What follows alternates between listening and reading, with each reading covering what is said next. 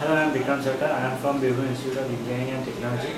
I was here for a course of J2EE with a project. Uh, I have uh, done photo gallery, online photo gallery with the help of Shravanti ma'am. It was a very good experience to have a VT from NIVT.